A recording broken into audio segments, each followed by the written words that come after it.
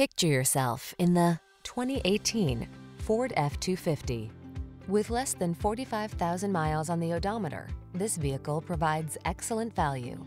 Take on tough jobs with confidence in this fully capable F-250.